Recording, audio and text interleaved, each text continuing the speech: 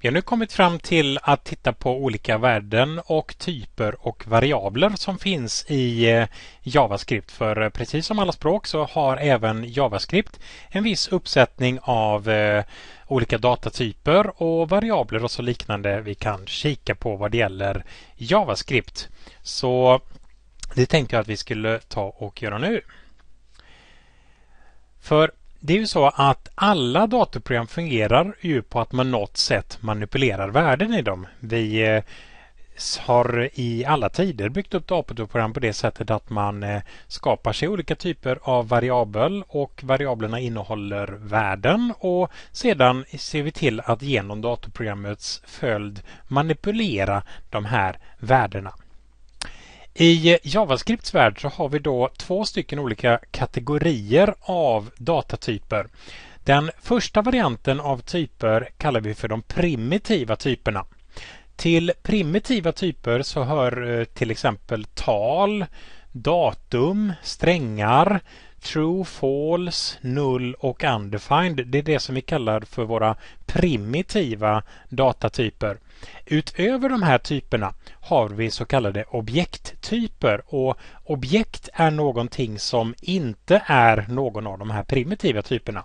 Det vill säga har du någonting som inte är en siffra, ett tal, true, false, null eller undefined så är det i JavaScripts värld ett objekt.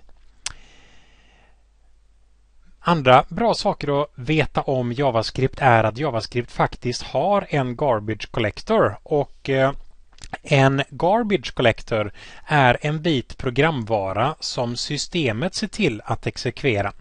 Tanken är att om du skapar variabler och sedan när du inte använder längre de här variablerna som du har skapat så ligger de naturligtvis kvar i programmet och äter upp systemresurser. Det är normalt sett ganska lite systemresurser de äter upp men ändå lite grann. För att göra sig av med problemet att eh, du har JavaScript som äter upp systemresurser så är det då vissa programspråk, däribland JavaScript, som har implementerat någonting som kallas för en Garbage Collector. En Garbage Collector jobbar på det sättet att den ser till att städa undan dina program.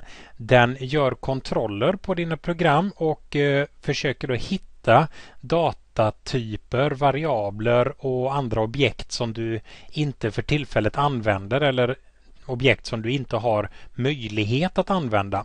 Den gör som så då att den tar helt enkelt och sopar bort det där. Så en Garbage Collector kan jämföras med en eh, städare som helt enkelt går runt och städar bort saker som inte kommer att behövas i framtiden. Den här Garbage Collecten gör alltså så att dina Java-program alltid kommer att hålla sig till spelreglerna och eh, inte äta upp systemresurser som den faktiskt inte behöver. Vad det gäller variabler så säger man att JavaScript är ett otypat språk.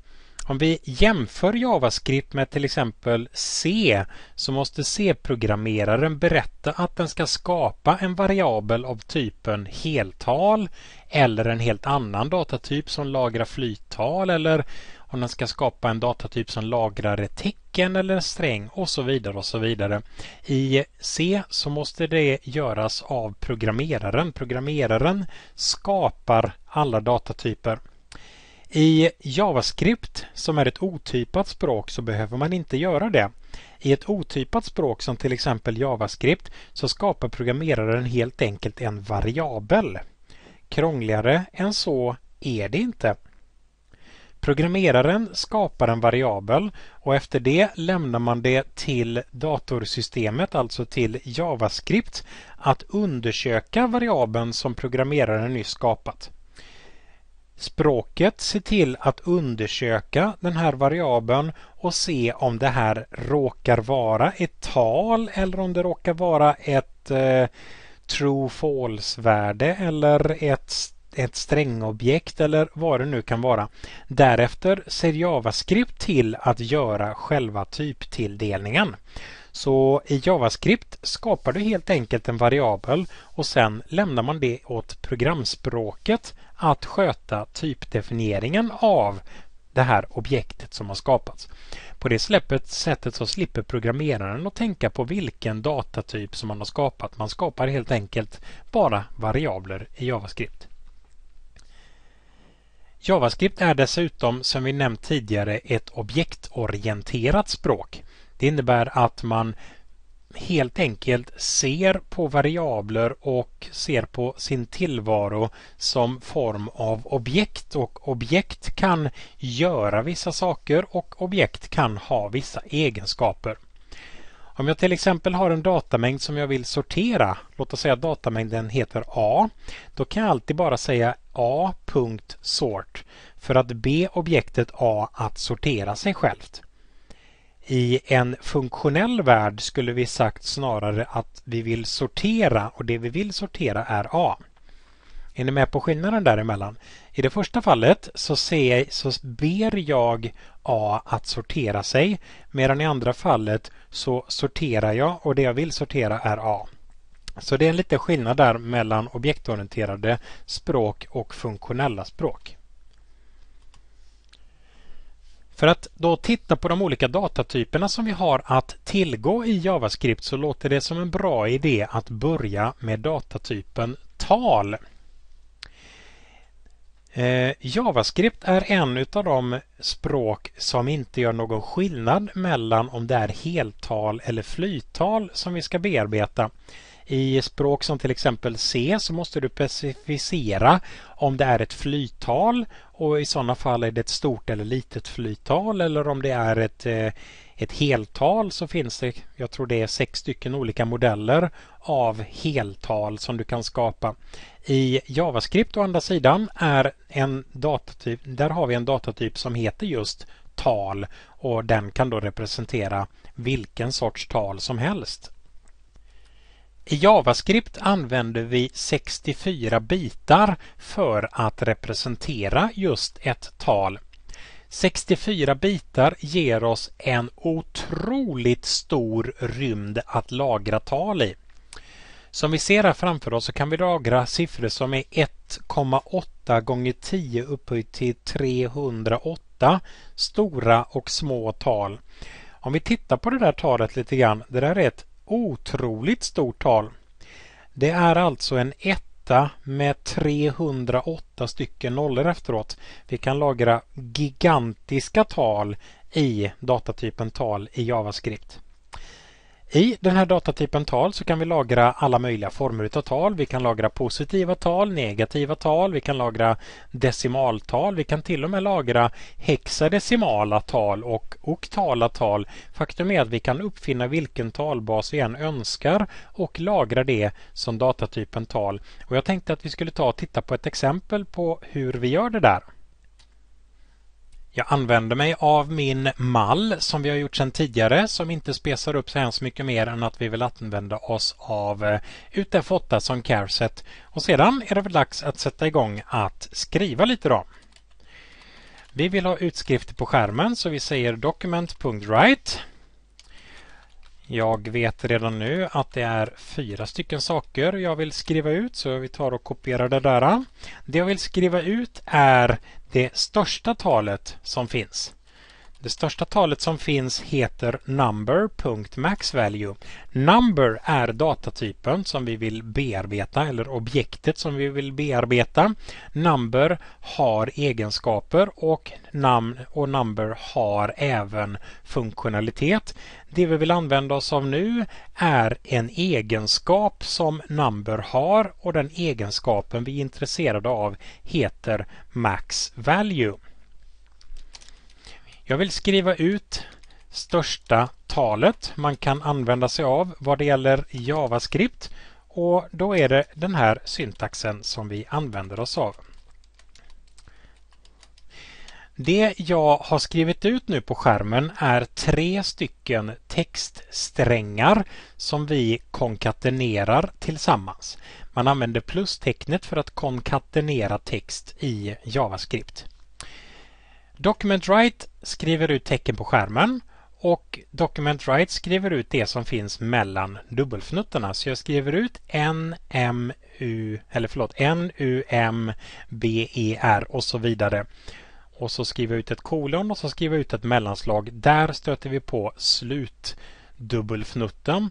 Efter det konkatenerar jag ihop denna textmassa med number.maxvalue som är en siffra.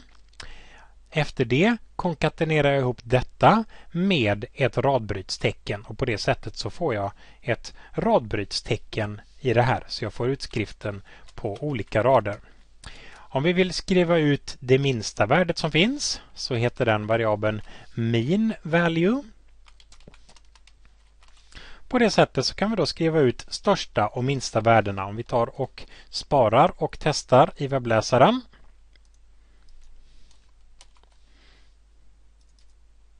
Så ser vi här att vi har skrivit ut number.maxvalue och number.meanvalue. Så där har vi största och minsta talet vi kan lagra i en datatyp tal.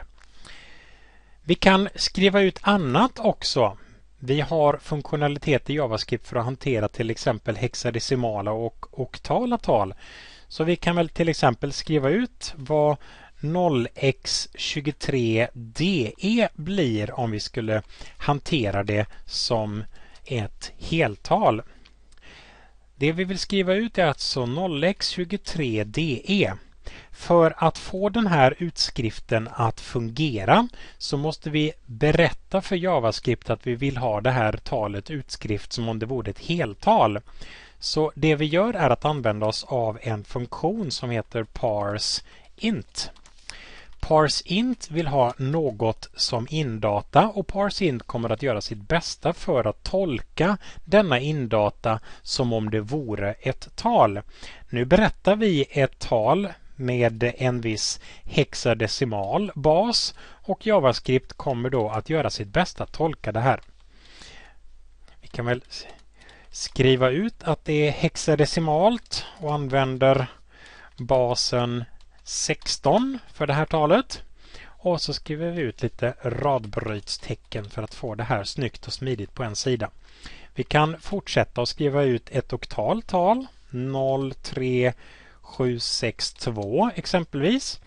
Och så tolkar vi det här oktala talet som om det vore ett heltal.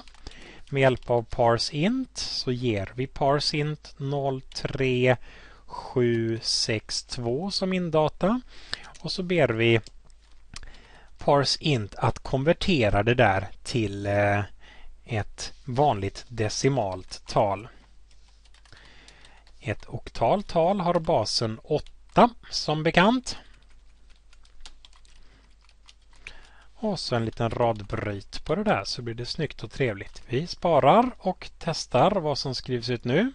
Och vi ser att 0x23de blir i decimal form 9182 och 03762 i oktala värden blir 2034 om vi uttalar det på det lite mer vanliga sättet. Det får bli en liten början till eh, tal i JavaScript det där.